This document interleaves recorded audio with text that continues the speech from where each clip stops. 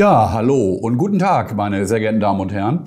Es freut mich, dass Sie heute an unserem Webinar zum Thema Omega-3-Fettsäuren mit dabei sind. Äh, ich hoffe, dass Sie Spaß dran haben und äh, hoffe auch, dass wir eine schöne Zeit miteinander verleben werden, um so ein bisschen über die wunderbare Welt der Omega-3-Fettsäuren etwas zu erfahren. Ich darf mich selber kurz vorstellen. Mein Name ist äh, Jörg Hüfe. Äh, nach meiner Ausbildung zum Rettungssanitäter und nach meiner Ausbildung zum Drogisten, ich habe mich sehr interessiert für Heilpflanzen, äh, bin ich mit dem Studium der Ernährungswissenschaften angefangen an der Universität Gießen, habe dann äh, zum Dr. Öktroph promoviert und zwar am Lehrstuhl von Professor Leitzmann, dem äh, Mentor der Vollwerternährung um dann eine wissenschaftliche Forschungstätigkeit in Berlin aufzunehmen. Und Sie werden es kaum glauben, was mein erstes, erster Bereich überhaupt war. Das waren nämlich die Omega-3-Fettsäuren, an denen ich sehr intensiv geforscht habe. Äh, ich habe selber Studien durchführen dürfen. Ich habe ungefähr 65 Publikationen geschrieben zum Thema Omega-3-Fettsäuren. Habe dann äh, das Feld verlassen, um mich in der pharmazeutischen Industrie in Oldenburg so ein bisschen auszutoben und äh, habe 93 dann das Institut für ernährungsmedizinische Information in Oldenburg gegründet ähm, bin also jetzt seit äh, über 25 Jahren selbstständig und äh, freue mich, äh, Sie heute entsprechend durch dieses Seminar führen zu dürfen. Ja, worum geht es heute? Ich möchte Ihnen die wundervolle Welt der Omega-3-Fettsäuren entsprechend vorstellen. Ähm, dass wir so ein bisschen über Nutzen und Risiken von Omega-3-Fettsäuren sprechen. Ist es wirklich sinnvoll, mehr Fisch zu essen? Oder soll man Fischelkapseln einnehmen? Haben die Nebenwirkungen? Äh, Gibt es da irgendwelche Probleme? Kann man damit Krankheiten therapieren? All diese Dinge äh, wollen wir uns einmal so ein bisschen genauer anschauen. Und äh, ich hoffe, Sie haben Spaß dran. So, und jetzt starten wir einfach mal mit der ersten Folie. Ja, wie kam man überhaupt auf die Omega-3-Fettsäuren? Nun, äh, das waren die Spuren der Eskimos, als nämlich im Jahre 44 ein britischer Biochemiker nämlich Dr. Hugh Sinclair, eine Forschungsreise nach Alaska gemacht hat. Übrigens, wenn Sie mal einem Eskimo auf der Straße begegnen sollten, dann reden Sie ihn niemals bitte mit Eskimo an. Eskimo ist ein Schimpfwort und heißt eigentlich Rohfleischfresser. Die Eskimos selber nennen sich Inuit, Menschen. Ja, also bitte nicht über Eskimos sprechen, über Inuit. So, und da gab es nämlich Hinweise, dass diese Inuit in Alaska oder auch in Grönland extrem niedrige Herzinfarktraten hatten und äh, besonders gute Blutgerinnungswerte. Und äh, der erste Hinweis, der äh, war wirklich, dass es eine fischreiche Ernährungsweise gibt äh, bei diesem Volksstamm. Deswegen auch hier der Inuit-Junge mit seinem wunderschönen Lachs. Und äh, das war eigentlich Ausgangspunkt dieser ganzen Forschungsreise. Und dann waren es in den 60er Jahren zwei Dänen, Bang und Dürberg, die nach Grönland gefahren sind, die äh, dort lebenden Inuit auch ebenfalls genauer untersucht haben. Und die haben eben wirklich festgestellt, dass es da äh, wirklich extreme Werte gab. Die hatten überhaupt keine, keine Herzinfarktraten, die hatten super gute Blutgefäße, also die hatten keine Arteriosklerose und äh, sie hatten extrem niedrige Blutfettwerte. Ja, und diese beiden Forscher, die haben manche Dinge festgestellt. Nämlich zum einen, ähm, dass die Hauptnahrungsquelle der Inuit wirklich Seefisch und Robben sind dass zum Zweiten diese Kaltwassertiere einen extrem hohen Gehalt an den sogenannten Omega-3-Fettsäuren haben. Wir kommen noch gleich darauf zu sprechen, was das in dem Falle überhaupt sind. Und die Forscher haben festgestellt, warum diese Omega-3-Fettsäuren überhaupt wichtig sind. Äh, Sie, können sich vorstellen, das Wasser der Polarmeere ist dort eiskalt bei ungefähr einem Grad plus, kurz vor dem Gefrieren. Und äh, die Tiere schwimmen dort im kalten Wasser und könnten eigentlich überhaupt nicht überleben.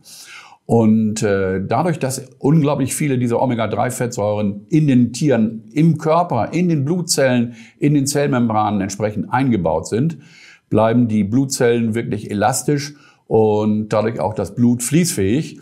Und äh, das ist der Grund, warum diese Tiere da in diesem kalten Wasser überhaupt überleben können. Ja, wo kommen diese Omega-3-Fettsäuren jetzt überhaupt her?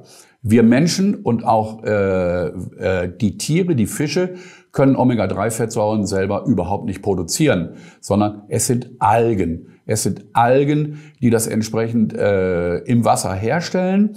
Und äh, kleine Fische, klein, ja, kleine Fische fressen Algen und die kleinen Fische werden wieder von den großen gefressen und so reichern sich diese Omega-3-Fettsäuren im Fischfleisch entsprechend überhaupt an. Und je größer der Fisch, desto mehr Omega-3-Fettsäuren hat er. Und äh, irgendwann werden dann diese Fische gefangen und landen bei uns hier beim Menschen. Und äh, wir haben dann irgendwann mal ein schönes Fischgericht und äh, ernähren uns dann entsprechend mit diesen Omega-3-Fettsäuren, die sich dann auch bei uns im Körper entsprechend anreichern können. Und Sie sehen es schon entsprechend an der Überschrift, meine Damen und Herren. Omega-3-Fettsäuren sind essentiell. Sie können vom Körper selber nicht hergestellt werden und müssen von außen über die Nahrung zugeführt werden. Und deswegen gibt es kein Leben ohne Omega-3-Fettsäuren. So, jetzt bitte nicht erschrecken. Jetzt kommen wir in die wunderbare Welt der Chemie und äh, diese Folie erkläre ich gleich ganz, ganz einfach. Äh, da müssen Sie sich gar keine Sorgen machen, dass äh, äh, Sie das nicht verstehen. Hier unten, hier unten sehen wir eine typische langkettige Omega-3-Fettsäure. Und zwar ist das die sogenannte Eicosapentaensäure, kurz EPA genannt. Das sehen Sie hier entsprechend. So, hier ist die Fettsäure nochmal entsprechend dargestellt. Da ist der Carboxylrest.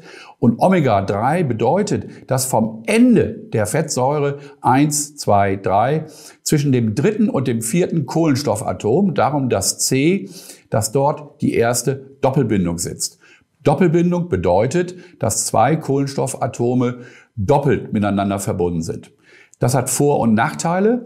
Vorteile, äh, dass dieses äh, Molekül sehr schnell entsprechend reagieren kann. Nachteil ist, dass so eine Omega-3-Fettsäure sehr empfindlich ist. Diese Doppelbindung kann sehr leicht aufklappen und äh, dann wird im Prinzip das Molekül unwirksam. Es wird ranzig, es ist ein Fett, es verdirbt. Und äh, aus dieser Omega-3-Fettsäure entsprechend werden vom Körper noch weitere Omega-3-Fettsäuren äh, produziert. Das ist zum Beispiel die Docosahexaensäure, kurz DHA genannt. Auf die kommen wir in dem Falle noch zu sprechen. Der absolute Gegenspieler der Omega-3-Fettsäuren ist die eher bekannte Omega-6-Fettsäure. Das ist die Linolsäure, äh, die wir vor allen Dingen in Pflanzenfetten sehen werden. Da schauen wir uns gleich nochmal ein bisschen genauer an. Und ganz, ganz wichtig ist es, dass im Körper ein gesundes Verhältnis zwischen dieser Linolsäure und der Eicosapentaensäure entsprechend hergestellt wird, weil dies ist wichtig für die Wirkung der Omega-3-Fettsäure und äh, das schauen wir uns gleich einmal noch ein bisschen genauer an. So, wichtig ist nämlich hier das Verhältnis von Omega-3 und Omega-6-Fettsäuren. Wie gesagt, Omega-3-Fettsäuren eigentlich ausschließlich in äh, Fisch- und Meeresfrüchten in kurzkettiger Form. Ich komme noch drauf zurück in bestimmten Pflanzenölen wie Rapsöl oder auch Leinöl. Und äh, Omega-6-Fettsäuren haben wir vor allen Dingen in den klassischen Ölen, die wir haben, Sonnenblumenöl, äh, Margarine und ähnliches. So, und jetzt gibt es eine eindeutige Empfehlung und dazu haben sich die drei deutschsprachigen Gesellschaften, nämlich die DGE in Deutschland, die ÖGE in Österreich und in der Schweiz die SGE und SVE zusammengeschlossen und haben eine eindeutige Empfehlung gegeben, nämlich das Verhältnis von Omega-3 zu Omega-6 sollte willig bei einer ausgewogenen Ernährung 1 zu 5 betragen. Sie merken, Omega-6-Fettsäuren in dem Falle wesentlich mehr, weil auch Omega-6-Fettsäuren essentiell sind entsprechend für den Körper. Und das aktuelle Verhältnis beträgt leider momentan nur 1 zu 8. Und das hat entscheidenden Einfluss auch entsprechend auf den Bedarf, was wir gleich so ein bisschen näher sehen werden. So, und hier kommen wir schon der Sache ein bisschen näher. Äh, wir wissen heute, dass äh, das Verhältnis von Omega-3 zu Omega-6 große Auswirkungen hat auf das Herzinfarktrisiko. Und gerade in bestimmten Ländern, aber auch in den, in den USA liegt zum Teil sogar ein, ein Verhältnis äh, von äh, 50 zu 1 vor, also ganz, ganz wenig Omega-3 entsprechend überhaupt im Körper. Und äh, daher kommt es, dass äh, 45 Prozent der Menschen in der Tat an Herzinfarkten in äh, Europa und in den USA sterben. Bei den Japanern, wo wesentlich mehr Fisch gegessen wird, denken Sie an Sushi und äh, ähnliches, äh, haben wir nur 12 Prozent. Und bei den Grönländern, die natürlich, können Sie sich vorstellen, kaum Zugriff haben auf äh, Gemüse oder, oder Pflanzenöle in dem Falle, haben wir ein Verhältnis von 1 zu 1. Und da haben wir eine Herzinfarktrate äh, von nur sieben Prozent. Die Grönländer, die sterben natürlich auch, aber die sterben an ganz anderen Dingen. So, und diese etwas auch komplizierte Abbildung zeigt so ein bisschen, was die Omega-3-Fettsäuren nämlich im Körper überhaupt machen. Ich habe die beiden wichtigsten schon erwähnt, die Eicosapentaensäure EPA und die DHA, die Docosahexaensäure. Und die bilden sogenannte Gewebshormone im Körper. Das nennt man auch Mediatoren und das sind so Begriffe wie Prostaglandine, Thromboxane und Leukotiene. Und die haben sehr günstige Wirkungen auf den Körper. Sie sind nämlich gefäßerweiternd, das heißt, das Blut kann besser fließen. Sie sind gerinnungshemmend. Das äh, Blut wird ein bisschen flüssiger und sie haben Einfluss auf die Entzündung im Körper. Und wenn Sie sich einmal anschauen, äh, was die Omega-3-Fettsäuren machen, da ist nämlich der wichtigste Baustein die sogenannte Arachidonsäure. Das ist der direkte Gegenspieler zur Eicosapentaensäure. Und der Körper macht daraus, wenn viel Arachidonsäure im Körper vorhanden ist, macht er Prostaglandin I2 äh, das wirkt zwar ebenfalls gefäßerweiternd und gerinnungshemmend, aber ein großer Gegenspieler dazu ist das Thromboxan. Und das wirkt gefäßverengend und äh, gerinnungsfördernd. Das ist ungünstig, weil das entsprechend Herzinfarkte promovieren kann und ein äh, Gewebshormon mit dem schönen Namen Leukotrien B4 und das wirkt stark entzündungsfördernd. Und deswegen sollte man, wenn man äh, Entzündungen im Körper hat, also Rheuma oder ähnliches, sollte man möglichst wenig Omega-6-Fettsäuren zu sich nehmen, also äh, wenig entsprechend äh, Sonnenblumenöle und ähnliches verzehren, sondern eher auf Rapsöle oder auf Leinöle entsprechend zurückgreifen.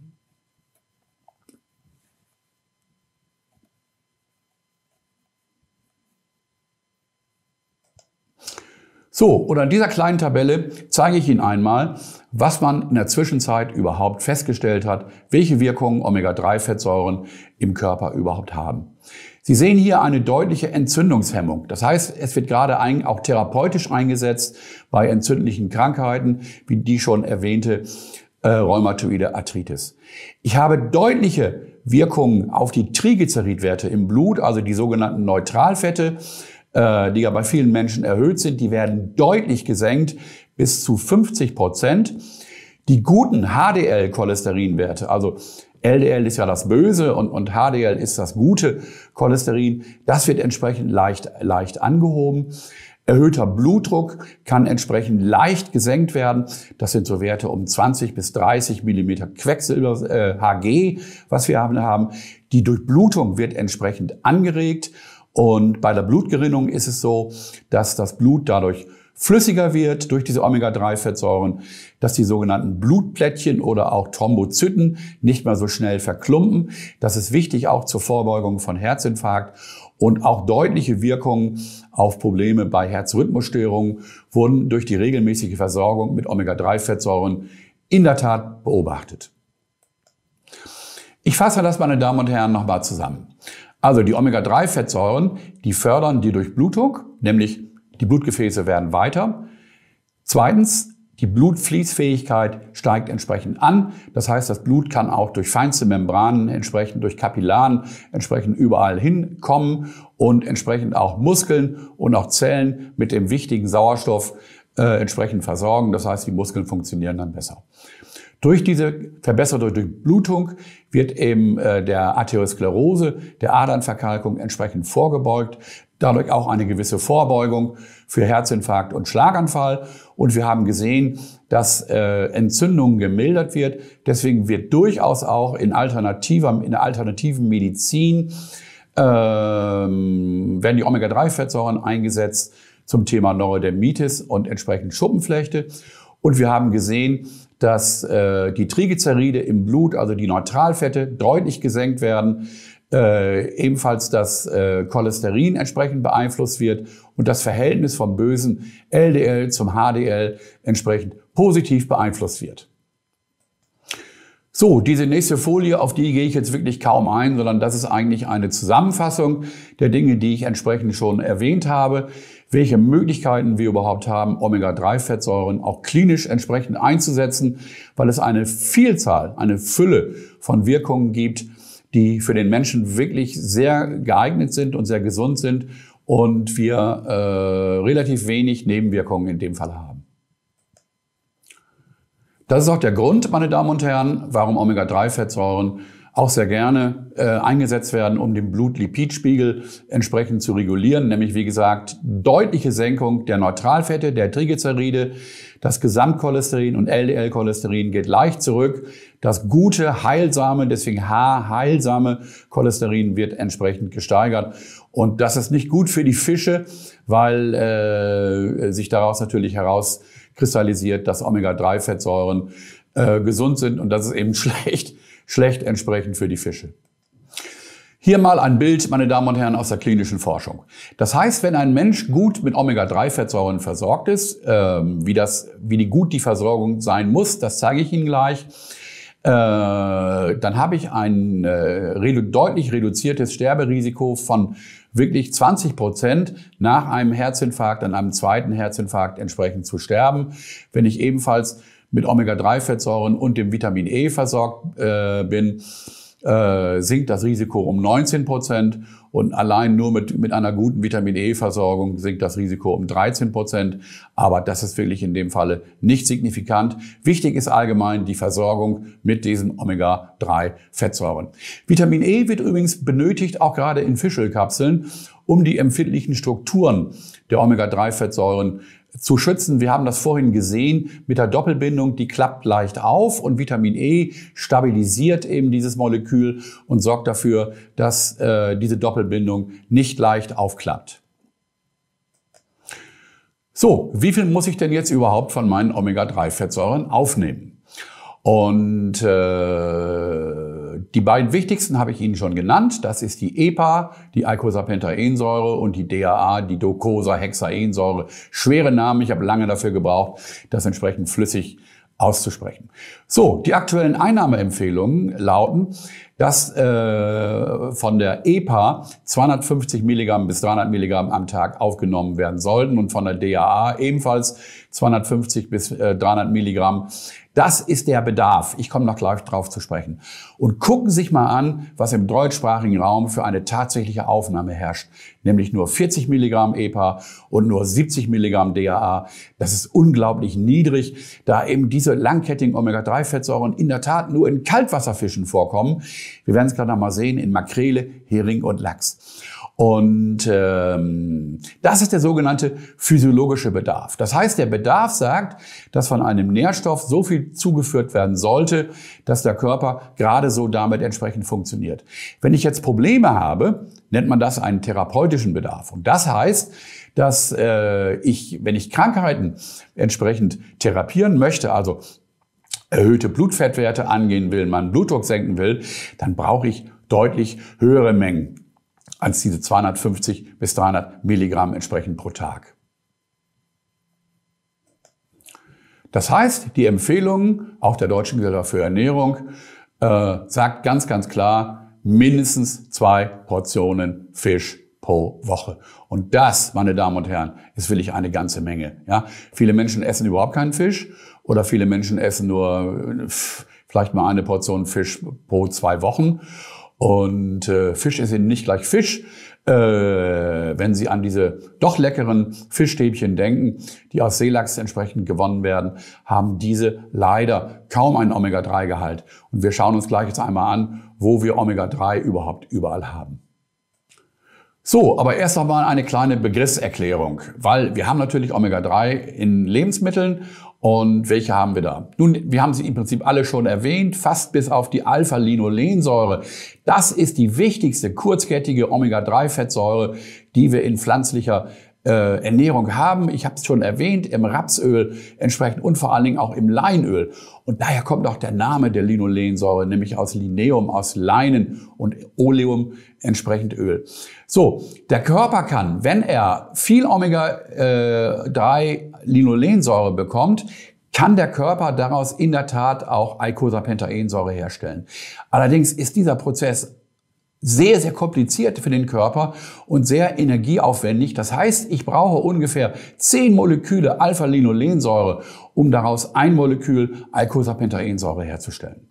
Und das ist wirklich energetisch sehr aufwendig und äh, darum ist überhaupt der Fisch und vielleicht auch die Algen, wir werden sehen, die wichtigste Quelle für diese beiden Fettsäuren.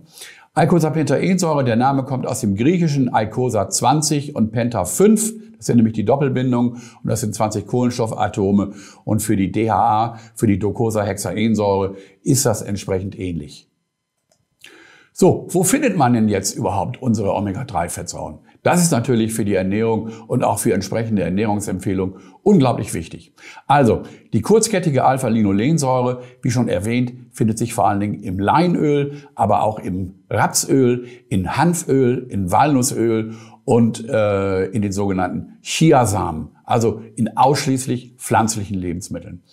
Die Eicosapentaensäure kommt ausschließlich in tierischen Lebensmitteln vor, nämlich vor allen Dingen in Fischen. Und Sie sehen es am reichsten überhaupt an der Omega-3-Fettsäure EPA ist der Hering, jetzt aus dem Atlantik oder Ostsee. Natürlich auch der Lachs, deswegen gibt es auch Lachsölkapseln, Thunfisch und auch Sprotte und die Docosahexaensäure in den ähnlichen Fischen, aber auch vor allen Dingen in der, in der Makrele, großes Vorkommen. Und das ist auch wichtig, auch nachher für unseren Vortrag, in Mikroalgen. Das ist vor allen Dingen die Alge Schizochytrium, die also äh, sehr viel an Omega-3-Fettsäuren entsprechend produziert. Und das ist die einzige pflanzliche Quelle, das ist eben sehr wichtig für Vegetarier und Veganer, äh, für Omega-3-Fettsäuren. Und wie schon erwähnt, die Fische können das selber nicht produzieren, sondern reichern das über die Nahrungskette im Fettgewebe an, indem sie viel Algen entsprechend verzehren und äh, dann entsprechend die Omega-3-Fettsäuren anreichern können. Schauen wir uns einmal an, wenn wir uns überlegen, welche Fische wir denn entsprechend kaufen sollen, wo wir denn die meisten Omega-3-Fettsäuren haben. Und das sind vor allen Dingen die fettreichen Fische. Und schauen Sie mal, hier sind die Zahlen. Also sehr reich an Omega-3 ist vor allen Dingen der Hering, äh, die Makrele entsprechend und der Lachs, aber auch Thunfisch und auch Heilbutt haben deutliche, wesentliche Mengen an diesen Omega-3-Fettsäuren.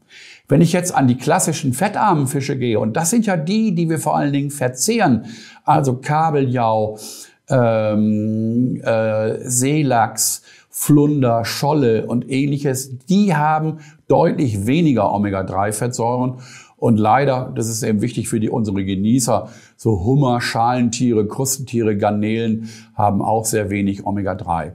Und das ist auch der Grund, ähm, dass es eigentlich seit den 80er Jahren entsprechend Präparate gibt. Lebertran schon deutlich länger wird ja verwendet, um äh, den Körper mit Vitamin A und D zu versorgen. Schmeckt ja, wer schon mal probiert hat, fürchterlich ist schon eine bedeutende Quelle an Omega-3, sollte aber nicht zur Deckung äh, des Omega-3-Bedarfs äh, verwendet werden, weil man damit viel zu viel äh, an Vitamin A und D bekommt und die sind fettlöslich und die können sich im Körper anreichern.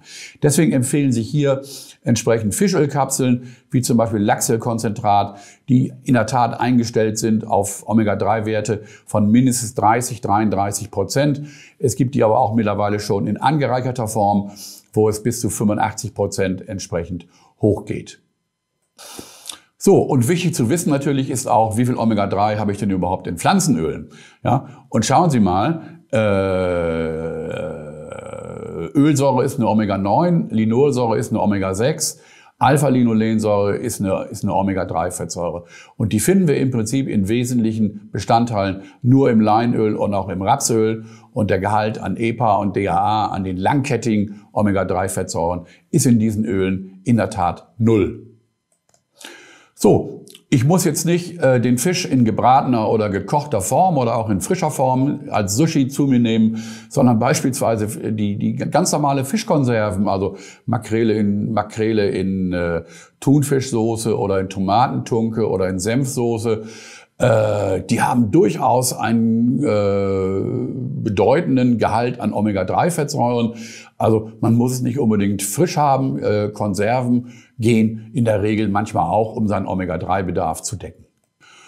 So, und jetzt gibt's ja immer wieder die Diskussion, äh, Fisch auf den Tisch oder auch Fischölkapseln, was soll ich machen, wie soll ich meine Ernährung optimieren. Sie erinnern sich, zwei Fischmahlzeiten pro Woche sind die Empfehlungen der Ernährungsgesellschaften. Aber äh, wer schafft das in dem Falle wirklich? Und äh, Sie werden mir sicherlich recht geben, Fisch ist in den letzten Jahren unglaublich teuer geworden. So, natürlich gibt's dort Vorteile. Ich habe dort ein natürliches Lebensmittel.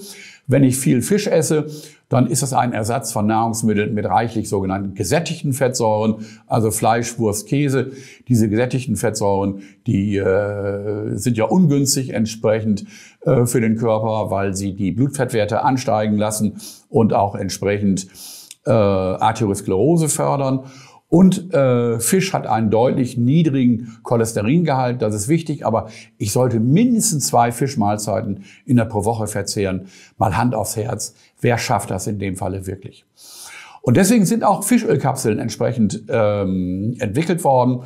Ich habe eine bequeme Einnahme, die nehme ich entsprechend zum Essen. Und ich oute mich mal, meine Damen und Herren, seitdem ich äh, Ende der 80er Jahre mit den Forschungen angefangen habe, nehme ich wirklich jeden Abend zum Abendessen Fischölkapseln entsprechend ein, um mich vor Herzinfarkt und, und erhöhten Blutfettwerten in dem Falle zu schützen. Das ist in dem Falle sehr, sehr bequem. Und äh, ich kann es exakt dosieren, das ist völlig klar.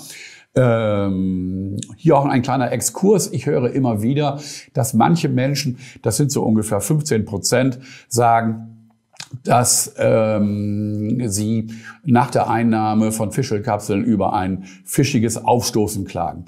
Das können Sie komplett verhindern, wenn Sie die äh, Fischölkapseln wirklich direkt zu einer Hauptmahlzeit nehmen, also nicht isoliert vor oder nach, sondern direkt dazu das rutscht dann gleich weiter vom Magen in den Darm, wird verdaut und ein fischiges Aufstoßen findet man eigentlich dann in dem Falle überhaupt nicht. Der dritte Vorteil von Fischelkapseln ist sicherlich, dass man bei die, seine Ernährungsgewohnheiten beibehalten kann. Die können aber auch dadurch sehr ungünstig sein. Und deswegen, ich habe keine Reduktion äh, von gesättigten Fettsäuren, wenn ich nebenbei auch noch viel Fleisch und Wurst und Käse esse. Ähm, ja, und ich entwickle vielleicht noch einen Vorteil, keine Aversion gegen reichlich Fischgenuss. Vielleicht entwickelt man willig bei zwei Fischmahl, Fischmahlzeiten pro Woche dann doch eine entsprechende Aversion gegen zu viel Fisch. Das kann durchaus möglich sein. So, hier noch ein kleiner Exkurs ähm, zu neueren Forschungsergebnissen. Man äh, prüft mittlerweile, ob Omega-3-Fettsäuren und das Thema Depressionen zusammenhängen. Und äh, dazu gibt es in dem Falle wirklich in der Tat äh, einige Beweise. Wir haben zum Beispiel gesehen, dass Länder, die einen hohen Fischkonsum in dem Falle zeigen, also äh, Japan, Mittelmeerländer, Grönland, dass sie, dass hier in diesen Ländern die depressiven Erkrankungen deutlich äh, seltener in dem Falle auftreten.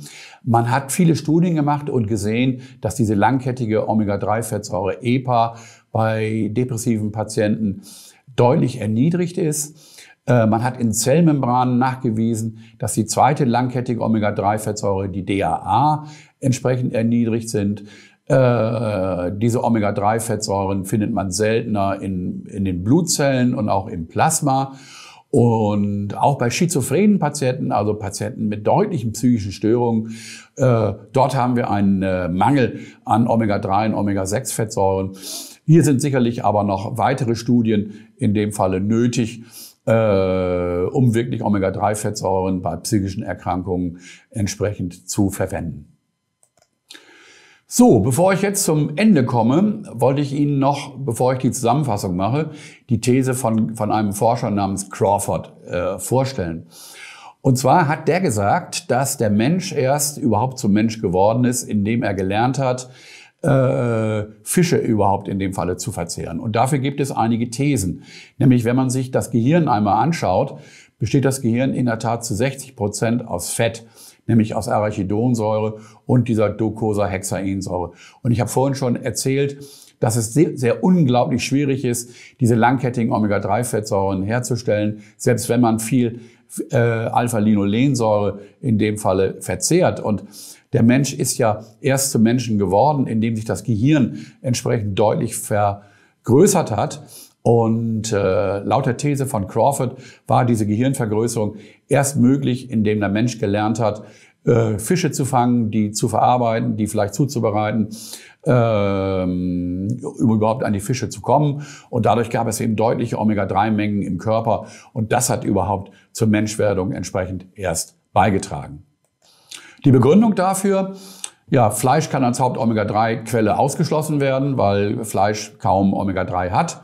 Ja, Milchkühe, die auf einer gesunden Weide stehen, äh, die reichern durchaus äh, kurzkettige Omega-3-Fettsäuren im Fleisch und auch in der Milch an. Und deswegen gehen die Forscher davon aus, dass eben Fische oder auch Meeresfrüchte als Omega-3-Quellen wahrscheinlich waren. Äh, und ich habe es schon erwähnt, die äh, Fähigkeit zur Eigen Eigensynthese äh, unterliegt starken Schwankungen. Wenn ich viel Omega-3 habe, wird sie sogar herabgesetzt. Also daher kann es in dem Falle nicht kommen. Und daher Menschwerdung eigentlich erst durch äh, das Erlernen des Fischens und des Fangen von Fischens. Ja, das ist jetzt meine letzte Folie. Ähm, ich hoffe, es war für Sie spannend. Ich fasse mal kurz zusammen, wofür wir Omega-3-Fettsäuren überhaupt nehmen können. Also A, Omega-3-Fettsäuren sind essentiell. Der Körper kann sie selber nicht herstellen. B, die Omega-3-Fettsäuren sind wichtig für alle möglichen Funktionen des Körpers. Äh, sie können zum Beispiel die Blutfette senken, Sie können den Blutdruck senken, Sie können die Gefäße weiterstellen, Sie können dadurch Arteriosklerose und äh, Herzinfarkt entsprechend vorbeugen und Sie können auch in größeren Mengen entzündliche Krankheiten überhaupt therapieren. Das heißt, ein Einsatz bei, äh, bei einer Arthritis oder auch bei Schuppenflechte, der Psoriasis, wurde entsprechend diskutiert und auch schon in vielen äh, klinischen Studien entsprechend untersucht, ähm, so dass es für eigentlich alle Menschen in dem Fall sehr wichtig sind, ist, sich optimal mit Omega-3-Fettsäuren entsprechend zu versorgen. Und das war entsprechend mein Anliegen, ähm, dafür entsprechend zu sensibilisieren, dass äh, Omega-3-Fettsäuren einfach wichtig sind für die Gesundheit und äh, dass man eigentlich gar nicht genug davon bekommen kann, weil auch in äh, größeren Mengen sind sie praktisch unschädlich. Wie gesagt, die einzige Nebenwirkung, die wir beobachtet haben unter größeren Mengen von Omega-3-Fettsäuren, ist eben, dass die äh, Blutgerinnung beeinflusst wird und das hat zur Folge, dass man vor größeren Operationen so ein paar Tage vorher äh, Omega-3-Fischölkapseln absetzen sollte. Ja, das war mein Fazit. Ich bedanke mich für Ihr Interesse und äh, freue mich auf das gemeinsame Webinar mit ihm. Alles Gute und bleiben Sie gesund.